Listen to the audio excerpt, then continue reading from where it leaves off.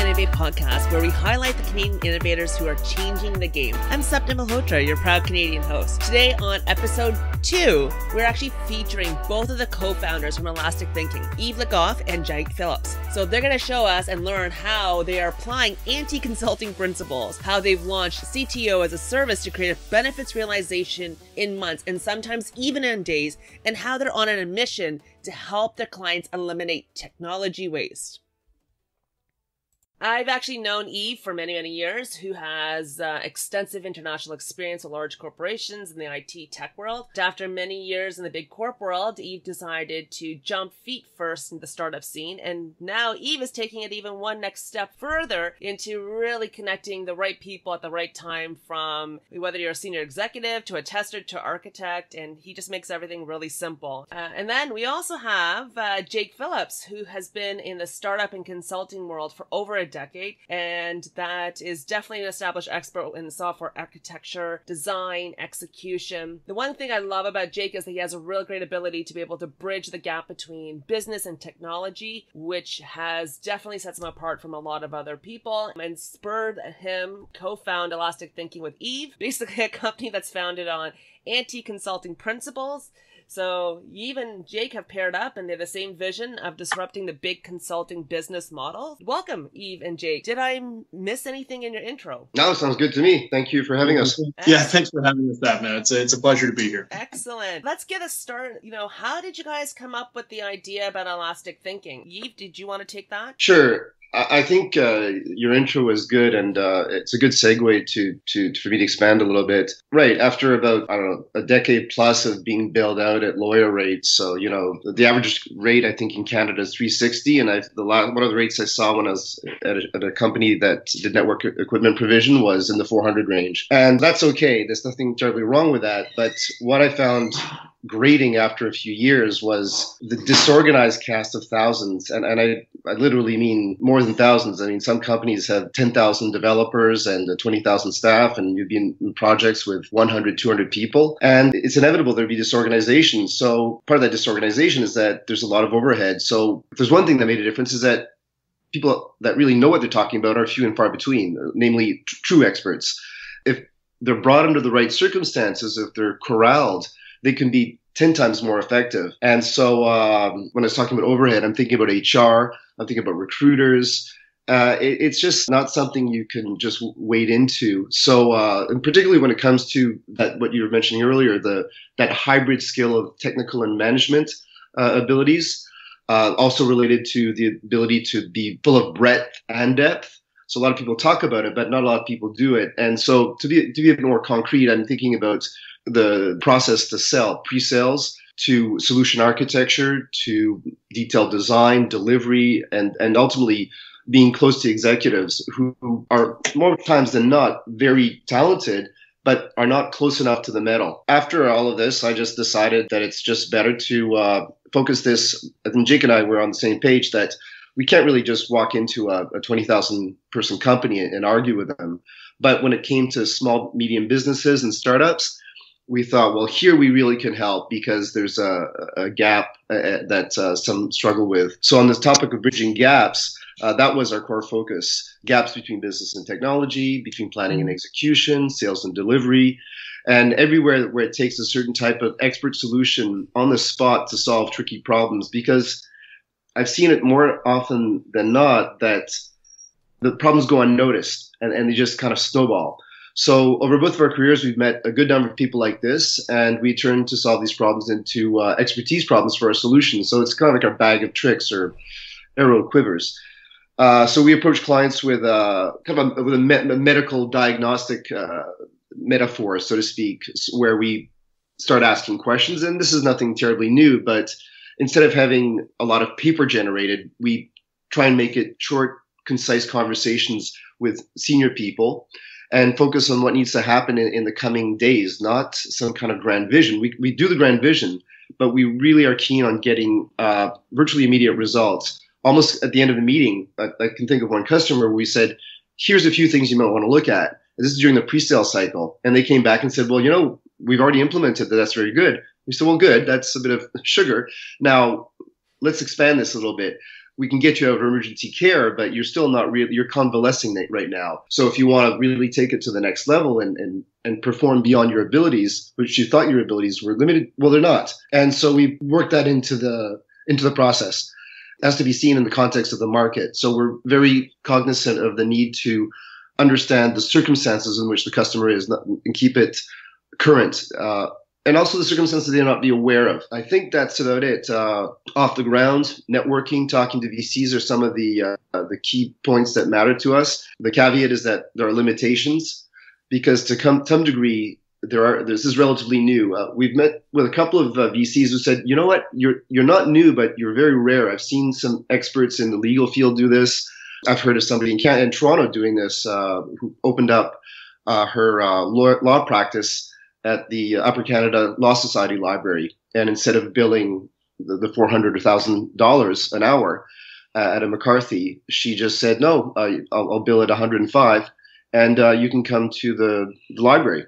And guess what? a lot of customers just said, fantastic and, and she's rolling now and that's about it no that's amazing it's great because both of you guys come from both large corporations and the startup scene so you know that each company, eh, depending on where they are in the life cycle, has different types of priorities and where they're trying to focus on, whether they're trying to get to the minimum viable product versus, you know, really trying to do a huge, large scale transformation of some sort. I love that saying, you know, a bit of sugar. So how, so you're helping your clients save money and make money. So, you know, this is something that big consulting firms also claim that they do as well. I mean, the the, the jobs that, that we work on by design are, are they're bite sized in their their orientation, right? So uh, instead of the, the, the big consulting speak where it's uh, okay, you know, put six figures on the table, we're going to send in a team of ten people to bill a thousand dollars an hour uh, for a minimum of uh, months we're looking at adding value immediately through, you know, as, as he was was talking about the that, that diagnostic analogy as, as well as those those quick wins that are typically done within days. Because most most companies that that, that, that are in the space that are that are looking for this this type of help have immediate needs and they also have an inkling that they're not really doing their strategy uh, entirely correct so it's a it's kind of a approaching it from bottom up and top down at the same time. So we're really looking at you know benefit realization within you know days, weeks, and months, not in the kind of in the years. But one thing that should be said that the the bar to entry, you already said it, but I just want to elaborate a bit. Yeah. I've not seen, and I'll name names here. We need to edit them out later, but in the engagements I've been with Accenture and PwC, just to name a couple, uh, when I, think of A.T. Kearney as well as another example, they really do not entertain anybody uh, for less than I don't know, like ten thousand would be surprising. hundred thousand seems like the low bar, but they really do expect uh, 10, 20 million dollars out of these deals, right? So that market is not our market, and I think that's kind of important to understand as well. We're going after small medium businesses, and there's no way Accenture would touch them. Mm-hmm. No, it's so true. They are small, medium sized businesses are such an underserved market. Exactly. And and Jake, I really like your your point about you know years has become months, right? And months have actually become days, and you guys being able to prioritize them with those quick wins, I think that is such a huge value, especially wherever they are um, trying to achieve. Um, so I think that's it's great. I really love this whole disrupting the consulting model.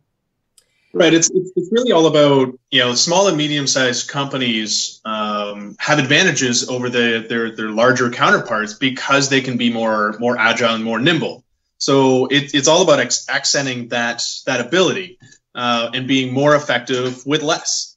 Uh, and they can get away with that, and that's that's really what makes that attractive. Now, if they have the tools to take that to the next level, all of, all of a sudden they're playing at a disruption game uh, when it comes to those larger companies and you know, if they're talking about growth, they're talking about exit strategies. All of that comes on the table a little bit sooner and a little bit more attractive. Amazing. Going into this a little bit more deep, has there been like a lot of any big aha moments that you've seen? Anything? yeah, let me let, let, me take this one. So the um, I, I gotta say the, the, the biggest aha you know I, I, think that we've had is you know when dealing with um, our CTO as a service uh, offering. So those are this is a service that is geared towards kind of the, the board level and the executive level at non-technology companies in the small medium-sized business so these are companies that you know these are not internet companies uh, these are not even technology forward companies necessarily they you know they're doing something else. Um, but obviously, in the in the world that we live in, technology is a cornerstone to everything we do. It is you know kind of ubiquitous everywhere. Um, but there's a there's a culture out there that really kind of uh, silently ignores technology. If it works, it's fine. We will just not touch it. Um, instead of trying to be uh, technology forward, and you lead, you kind of get yourself into this catch twenty two where you know you should be doing better, you know you should be paying attention to it, but it's not your strong suit, so you don't. And you just kind of keep kicking that can down the road because it's not your your strong suit. And then you get yourself into this kind of situation, if you will, that you're kind of afraid of looking a little frankly stupid in front of your colleagues uh, and potentially board members. You read the magazines a little bit, you learn some buzzwords, but there's no there's no actual depth behind it. There's a lot of talk, and not a lot of actual action. And it's funny that you know in in offering those services to them, and you know with the CTO as a service product, where we basically come in and say, listen, technology is not your strong suit and that's fine because you're not running a technology company but you need to you need to focus on this stuff so it can either accelerate you or at minimum get out of your way um, so that you can grow your company realistically these companies are not going to be able to hire uh, i mean top tier ctos obviously not uh, or even kind of your you know lower level ctos because frankly there's just not enough work for them um, and enough work for them at the c suite level um, so getting kind of a, a, a, grade A CTO is not something that's really in their grasp. So when you kind of balance that between them and you say, well, it, it's kind of almost a, a, psychiatrist moment that really has to happen where it's a, you know, they have to kind of admit they have a problem before they want to solve it. And that's kind of the, that, that's the big aha moment that's, it's really come down to it. You know, playing, uh, playing a bit of psychiatry with, you know, CEOs and, you know, owners, uh, you know, CFOs and, and all the rest of it has been an interesting interesting challenge, but it's it's been an interesting uh, kind of eye opener for us as, as you know as our, our services have uh, have evolved and, and and really gotten traction. And then you know it, it once you get in the door. The, the next surprising thing, and I think this comes from us being in kind of technology companies or technology forward companies, um, you know, in our past, but just how much technology waste there is, uh, and how many vendors are so predatory and literally prey on these types of companies. They sell them mm-hmm. things they don't need. They claim that things are integrated when they're not. I could I could go on forever, you know, listing things. I think we've all kind of had that experience where you've got that predatory vendor that either sells you the moon and then under delivers or you know literally just will lie to you uh, to, to get business and then lock you into long-term contracts. So we're there to kind of break that model and, and let them know that, you know, technology doesn't need to be difficult. It doesn't need to be expensive. It needs to accelerate your growth. It needs to kind of get out of your way so that you can do uh, do your core uh, your core mission. And uh, at times, you you know you need to be aware of where disruption and things like that are coming through. I mean, you can kind of read this on TechCrunch and um, you know all over the the blog space and be like, such and such you know place is going to get disrupted by this, going to get disrupted by that. Being prepared for that and pivoting at the right point from a technology perspective, but also from a non-technology perspective, and having the two of those integrate together is critically important for especially the medium-sized businesses these days you know as they're as they're looking to you know c- continue climbing that ladder. No that's amazing. I really love that you put yourself in your customer's shoes. I mean empathy is so key and then it really would help them. I love the idea about that technology waste because you're right i didn't even actually even think about that concept before. There is a lot of those functionalities that are you know we implement that we don't actually utilize and so on and I think that's a really interesting concept. So yes, I really like that. Aha. Yeah, and it's it's, it's funny that we, we we actually see that in you know very young startups as well. Again, non you know non technology type companies. Uh, you know sometimes service based you know industries that are that are easier to kind of you know start up as sole proprietorships or as kind of just get off off the ground. So it's funny one of the, one of the other services that that we that we offer is kind of the you know the the startup package, if you will. So it's a okay you know it's like a okay you're starting a company uh, and yeah, I'm sure you could Google around figure out how to incorporate and, and, things like that. But there's a whole list of other things that you need to kind of accomplish. And yes, you know, like a lot of people do figure this out. But again, it, they, they find the first thing that kind of works for them and they run with it, not knowing that they may be able to save, you know, a couple dollars here, a hundred dollars there, which at, at, that kind of startup, especially when it's self-funded, you know, you're kind of doing a little bit of sweat equity and you're kind of getting up off the ground. You know, every dollar counts. And especially monthly recurring dollars because you know that eats that eats into profitability, but it also eats into your bottom line and how much money you need to kind of either put into that or go out and raise. So elastic thinking, I really like how you're thinking. has there been something that has been kind of your favorite entrepreneurial moment? Like, let me try uh, take a, a, stab at that. It, it, comes back to what we do. We, we, we keep on refining our, our services, and, and Jake made a point about that earlier. CTO as a service is one service where we do the all-encompassing roadmap, just like a big uh, five consulting would do, but we're able to tailor it very quickly. But if that doesn't really appeal, we can say, well, look, let's turn the tables on the on the problem and start with something that has immediate value, like I don't know, you cannot upgrade your platform or you're stuck with a platform. Here's an alternative. This is what it will take in terms of concrete steps that you can do, Mr. Customer, and that we can do. And, and so we separate the concerns so that the customer says, my God, this is all very concrete. I guess that's uh, that's just a couple of examples. The uh, the startup service is another one. So I guess what I'm trying to get at there's a the reiterative recursive happening where we go in, see a problem, say, you know what, we can break that down into a, into a service, and then to the point about the startup service for people that are say dealing with uh, children with special needs that's their their their uh, their wheelhouse. They've got a master's or a PhD, social workers, whatever. We can say, look, here's your website, here's your incorporation, here's your trademark, here's your uh, your accounting, and that gets spun up in a matter of days. And for them, it looked like something like Mount Everest. And suddenly they can get back to the real work of doing their uh, their, their practice uh, or whatever they do as, uh, uh, as a full time job, not technology or or details around contracts like statements of work. Really about lowering the barriers to entry. I mean, that's that's that's that's really one of those those key parts. But it's it's funny when you're coming when we've been coming up with these uh, these solutions. You know, when we come across problems that, that we've seen before, small company, big company in our in our past, it, it becomes kind of the, the the tables end up getting turned on you as an entrepreneur. Whereas, uh, you know, before you used to kind of go out, have a beer with your colleagues, and kind of complain about, oh, you know, you know, Dave is doing this again, and you know the project is messed up. And well, now it's your problem to, to to fix it. And it's it's it's interesting to have those those tables turn because a the freedom is amazing to be able to say, well, there are no limits uh, behind you know beyond like literally the law, and that's about it. So there's there's a lot of freedom there, but then there, there's also that kind of you know that responsibility that ends up being uh, you know kind of put on your shoulders to say, well, it's also your problem now. So let's go yeah. ahead and fix it. Uh, one of the things that we keep on reinforcing is that uh, trusted advisor. But on the other hand, if it actually can be done, it's incredibly valuable because the, the, the trust and, and the empathy, that, that's not an overnight thing. It does take time.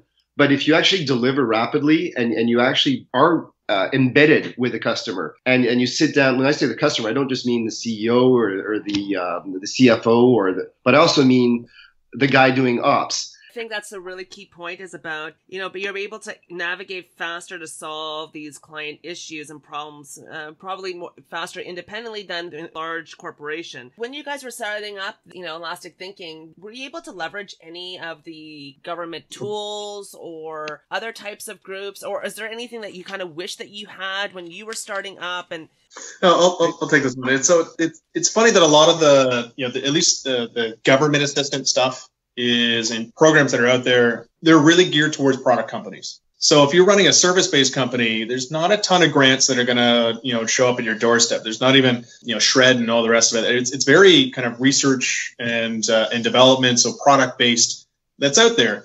Realistically, as an expert-based you know service, you kind of roll your own or or you die. So it's it, it's a, it's about one of those um, you know you need to really focus on how you differentiate yourself. What are your core values? And uh, and, and really focus on it. And I, I know that sounds a little fluffy, like oh you know this is a mission statement again. But honestly, it's it's one of those things that a lot of a, a lot of people don't do, or they do it kind of too late. Um, it's it's kind of a you know one of those exercises of you know who do you want to be when you grow up and, and again, it, it, sounds you know almost childish, but it's actually a really hard thing to do.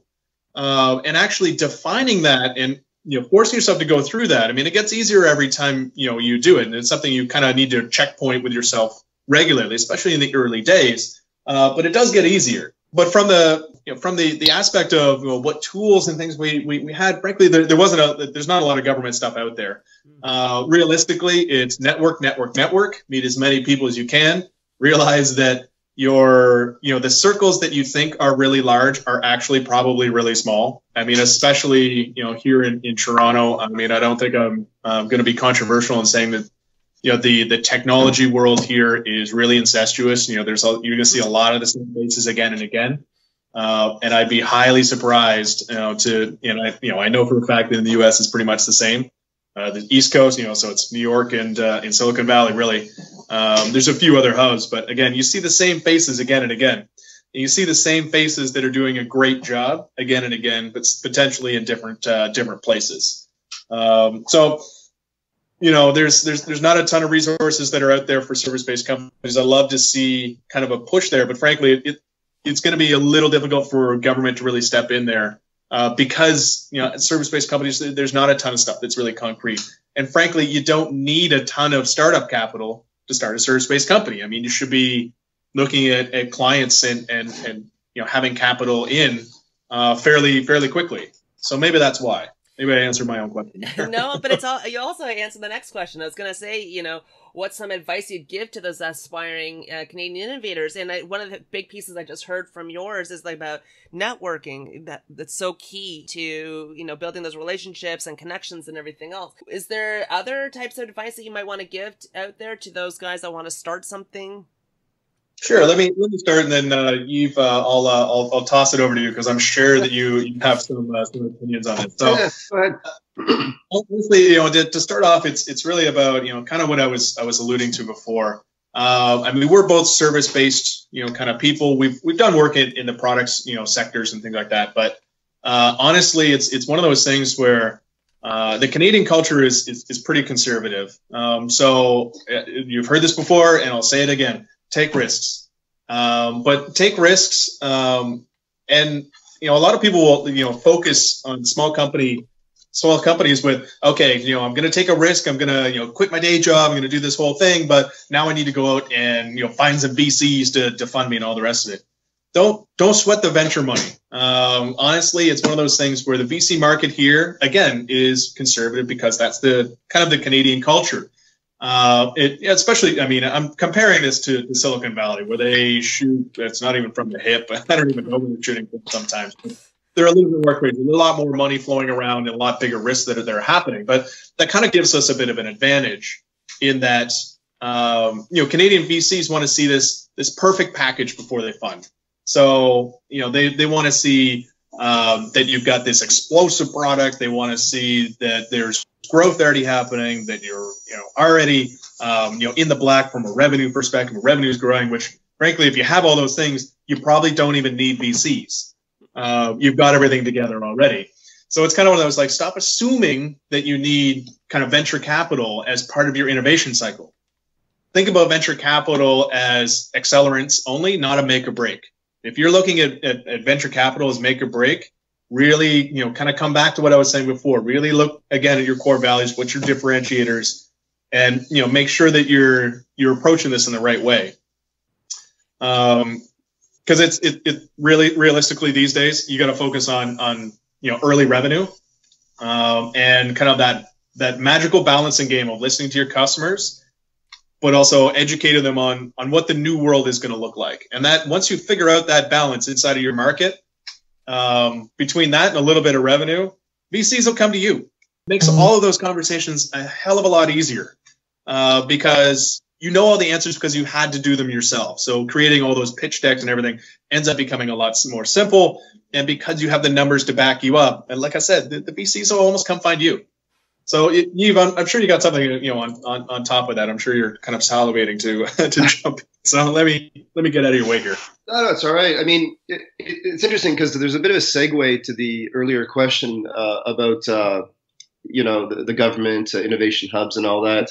It's a related question, interestingly enough, in the sense that so the government. Let me just kind of blend two questions at the same time because while I agree that with everything Jake said, obviously you, can you'll get some help from the government. It like this is going to sound a bit naive, but I've been really pleasantly surprised by how a little bit of elbow grease on the the uh, ICGC website will get you very far. Uh, I have to take my hat off because they have really improved their. If you want to talk to them, they will talk. They will call you back, and it'll be a very easy conversation. But it, all it is is that they will expect you to, and this is the segue, they will expect you to have done a bunch of homework first. So it, it does really come back to you uh, as the being accountable to yourself and, and to your partner and to your customers. So just a, a little bit of a nod to, to the government. As for innovation and uh, startups, and tied to you know what would I tell Canadian innovators? Don't completely ignore them, but really take it with a grain of salt. I mean, I, I know the, the scene when Jake said the, the Toronto scene is incestuous. It, it, really is, and frankly, I think all tech scenes are incestuous. Like I spent a bit of time in Silicon Valley. You, get to know people really quickly. It's it. I mean, I'm not saying I rub shoulders with uh, Larry Page or anything, but it's surprising how, how everybody knows each other. And I could go on about how, and Sapna, you know this from how London on, on the east side there, Shoreditch and, and whatnot. There's there's a bit of a hub scene going on. Paris, the same thing on the east northeastern side. The government there is helping a lot. The on the on the innovation startup side, what what I'm getting at, and I'll name names which may may need to be edited, but I know the guys that are at Mars. I know the guys that are at uh, what is it called one one one, and they're good people.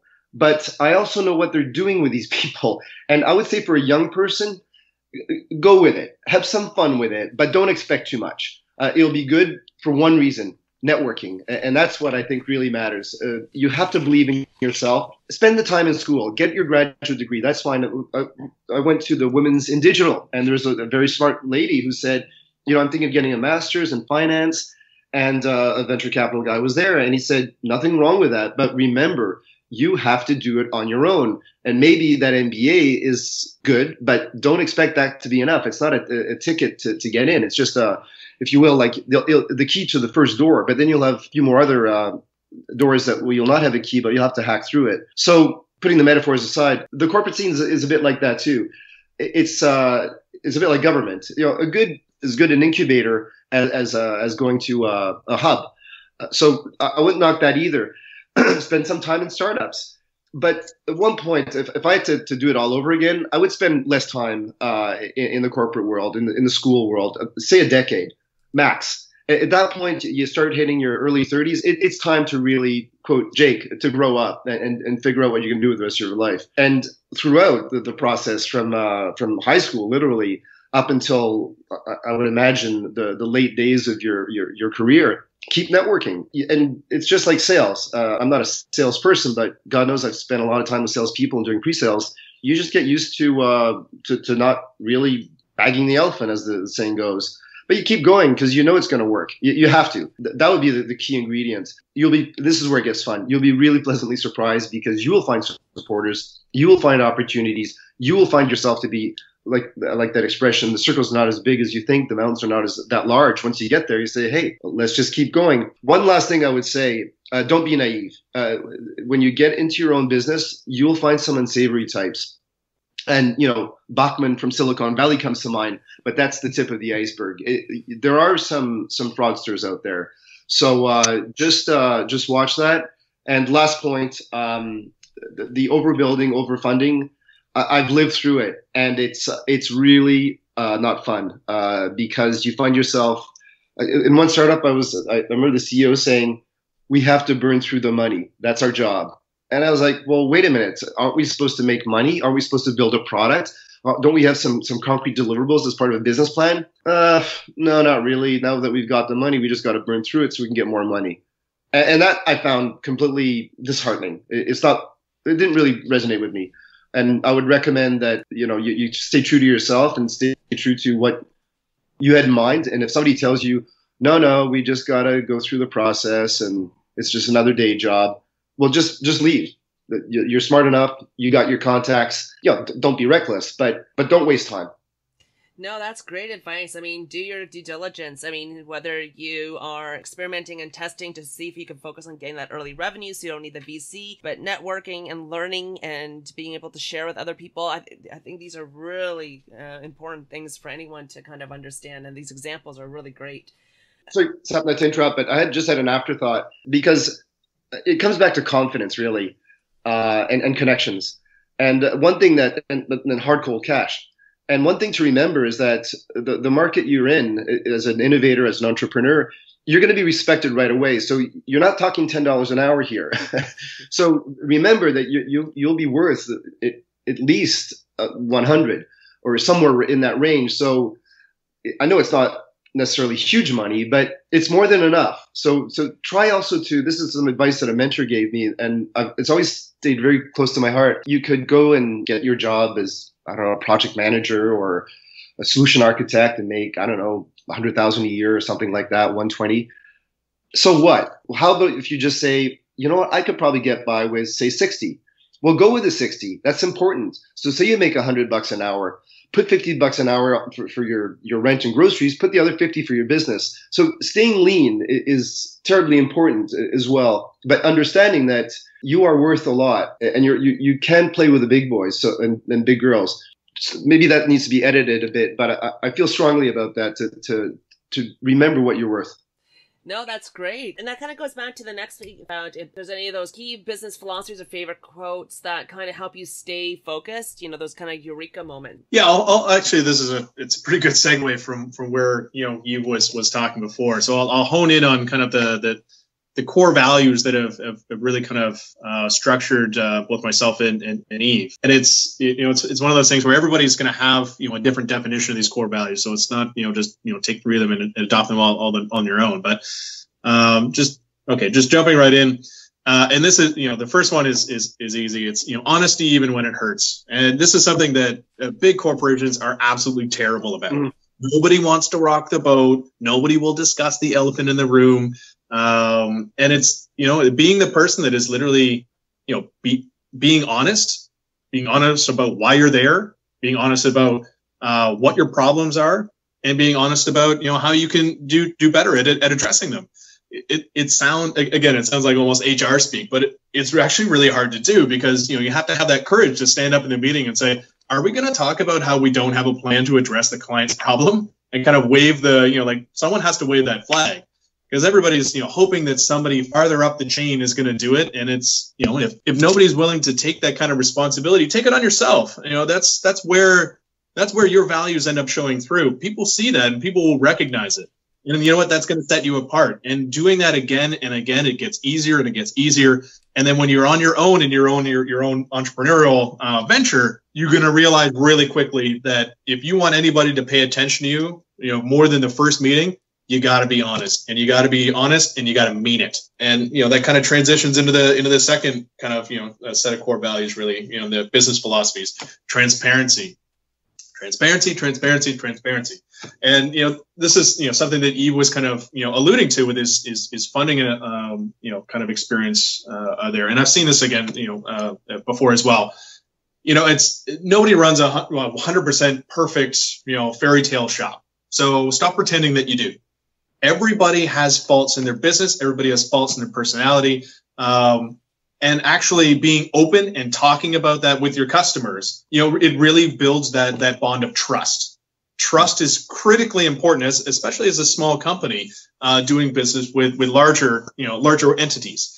So it's it, it really comes down to they, they've taken a risk.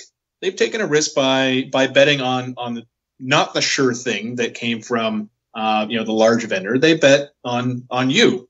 They need to be able to trust you. So when you, you know, you're going to you're going to screw something up. It's it's just kind of a, you know, you're a human being. It's going to happen. Just be upfront with it. Have a plan to deal with it, even if that plan is to get a plan. But be transparent about what what's going on. And when you build that level of trust, it allows you to come back to your client and say, well, you know, you need to admit that there's some problems on your end too. Let's be transparent with each other because you now you have that trust in between you and you can get your client to start it, you know, start admitting that, okay, well, maybe, you know, I wasn't as upfront and I wasn't as responsive as, as I said that we were going to be. Let's work this through together is, is, is the next step. So it's kind of a, uh, you know, it's, it, it's really just putting it out on the, on the table. Uh, and being honest about you know what's there so you can so everybody can pick up and move forward integrity it's it, it's all about say what you mean, mean what you say, and do it already. It's it's really that easy. If you say you're going to do something in a in a meeting, you better do it or have it done. Uh, and it's if you quote a date, that's your date. You're responsible for that now. So actually, go ahead and get it done. And you know if if you screwed up and you quoted the wrong date, well, I'm going to come back to you know the transparency and honesty section uh, on how that's not going to happen again. So kind of the, you can see that the three are really you know woven together, but really what this, this those three things do with a client, and as you demonstrate them again and again, you build this strong bond of trust. And you know, just coming back to some of the some of the service offerings that we have. I mean, if you look at CTO as a service, that's a really big, you know, role that requires trust and it requires ongoing trust. I mean, this is, you know, basically we're filling the the seat of uh, of a chief, you know, chief officer, uh, and that requires, you know, executive level trust. And I'll be honest with you, most executives don't trust anyone because they've been burned so many times that it just you know that that's just their their go-to they just they started like level zero trust if such a thing existed and then maybe you can kind of build it up from there but you'll see people like that start to respond immediately when you st- when you start to be you know, honest transparent and show integrity. Because they'll they'll look at you as someone that can get stuff done. They'll look at you that when you you know when you actually say you're going to do something you mean it. And when you say that no that's not something we do they trust you but they'll ask your advice on where to go. So you end up filling that trusted advisor role, which is something that we pride ourselves on. Uh, and that we, you know, we, we like to fill, whether you're a startup company that we're helping you get up off the ground, whether you're, we're running kind of CTO as a service, you know, for you, uh, whether we're just providing experts to fill a, a current gap in your, uh, in your growth pattern. Um, you know, that's, it, it really comes down to building trust with your, with your clients. And I love that. And speaking of doing, is there a productivity tool that kind of helps you keep focused? Uh, as as much as I have tried to get rid of my pen and paper multiple times and be super green and, and all the rest of it, it keeps coming back. but honestly, I'll, I'll, first one, I got to give a shout out to a company right here in, in Toronto, Canada, uh, FreshBooks. We find that to be absolutely fantastic uh, for managing all the you know finance and expenses and invoices and, and you know that kind of that level of accounting uh, with our clients. It's frankly, they made it so easy. It's embarrassing. And it's they're a fantastic company. I believe they're still located up at Yonge and Eglinton. Yeah, that's that's been kind of a just a, a standard wheelhouse that you know, we've been, been using for some time. I'm a avid user of Todoist. Uh, I put almost an inappropriate amount of, of things in my to-do list. That's probably because you know I have I have an infinite home, so uh, if I don't put it in a to-do list, it might get lost in the mess. And then you know right after that, you know take notes, take notes, take notes. So Evernote is obviously the at, at, the top of my list there as well. I take all those things, search through it, and really, I mean, it's rough notes. Frankly, even preparing for this podcast, it, it's all in Evernote. it's all right there. My my last one, which is really it's my favorite, and you know, it's when I was running execution teams for for larger companies, trying to kind of do the do the impossible mission thing. I used to have a rule. It was you can always come and ask me any question, but if I can Google it and it's on the first page, where you know the, the team drinks or you owe the team food, you know donuts, you know you, you better be making it up to the team because you know Google is is is you know, part of that ubiquity of, of technology. Um, so it's obviously one of my you know my my my go-to tools. It's it's almost like you know my right arm uh, in that you know it's a I expect that you know before we have a conversation you've already Googled this and you know you need clarification on something or you need me to connect, connect the dots or we've actually managed to find something so arcane that is actually not in Google, which does happen. Trust me, it's it's far and few between, but it does happen. No, it makes sense. And is there like a, a favorite book or podcast that you're currently uh, listening to to keep up to date with your knowledge? I'll, I'll, I'll start off, and then Yves, I know you have a, a, a long list and some some opinions on this. So, um, I think uh, probably it, it, was one of the first you know business books that, that that I read, and frankly, I think it's still my favorite. Freakonomics is is just fantastic. Um, and then uh, Good to Great was was was also was also really good as well, because it it really kind of instilled some of the, the, the things that I was talking about with kind of that core values. Because you know the the core values and the way that elastic thinking is approaching the market right now works. Um, in two, three, five, ten years, the world's going to look different. We're going to need to pivot but the core values are going to remain the same. And that's, I mean, if I had to sum up good to great, I mean, that's pretty much it. Um, and then lastly, uh, execution, uh, which is, it's, it, it's a book about things that frankly, I, I feel like they should almost be taught in high school, but it's, it's literally about how to get stuff done. Um, so when you're having a meeting, take your own notes, take the action of send your notes back out to the, to the group to make sure that you actually are on point. Repeat yourself. You know, uh, when you come in, have an agenda for a meeting actually follow your agenda and, and get the, the points taken care of. Follow up at the end to make sure everything's, you know, actually done. It is rigid, boring 50 style meeting, but it's one of those things that frankly has gotten lost in, you know, everybody trying to be nimble and agile they feel like the they need to get rid of structure everywhere so that everybody can do kind of everything on the fly. So I mean that's that's been actually a, a, a big help for me. Yves, you know, remind me of the things that I've, I've forgotten. I found that it was almost an industry unto itself. There are some exceptions, like of course uh, the Lean Startup by Eric Ries. That's that's a solid one that has a methodological bent. Uh, another book, which is less of a business book, but it, it really really influenced me, and it, it's it's related to lean. I'm interested in in, uh, in queues and optimization, and the the, the gentleman in, in, question is Eliyahu Goldratt.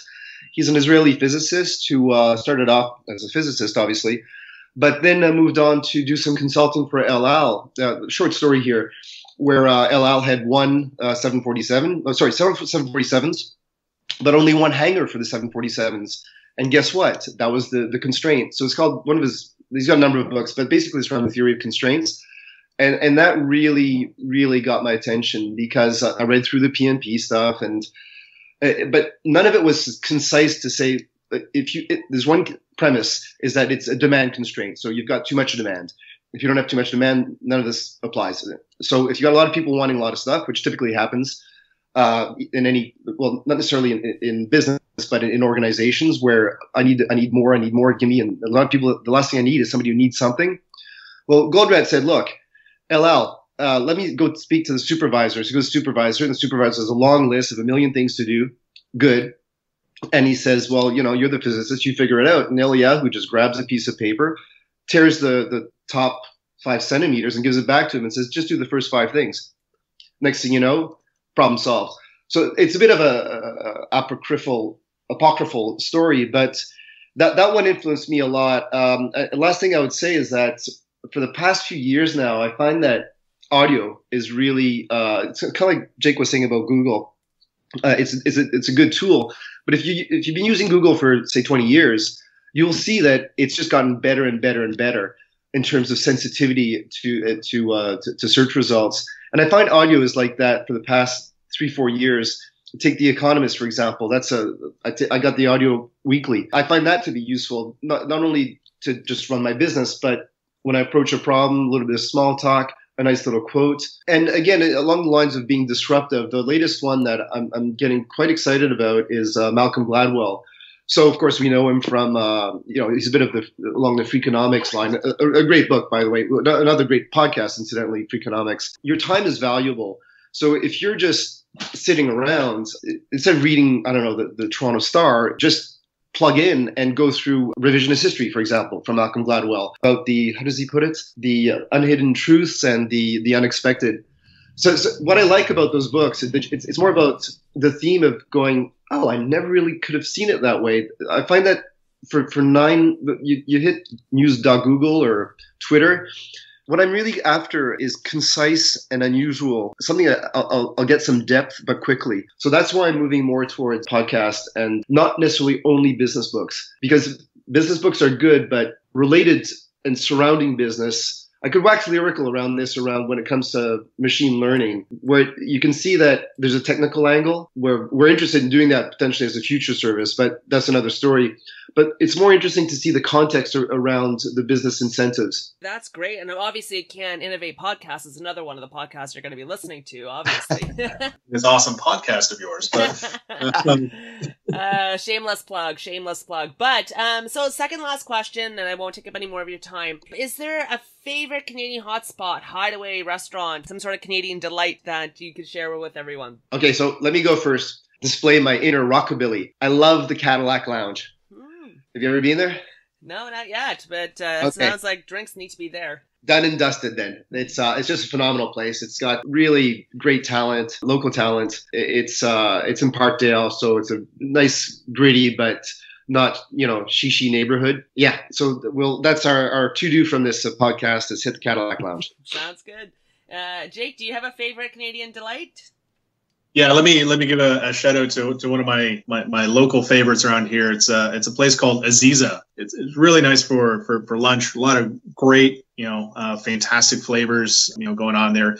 There's there's a bit of a like North African flair going on, but it's it's a little bit more kind of you know continental in its uh, its experience. But great, you know, great food, great atmosphere. Uh, I love the, the, you know the two people that uh, that that run that. That's for lunch, and then uh, Bar Isabel is is fantastic. There's, there's a reason that there's uh, there's a lot of you know uh, top chefs that are now opening restaurants that have Bar Isabel on their on their resume. Uh, that place is I mean it's been around for a while, but you know in Spanish tapas I mean you can kind of get that anywhere, but they really do it well, and they really do it. You know every dish is is is top notch, um, and it's you know, it's also far and few between that I can recommend octopus at a, at a restaurant because it is so hard to work with.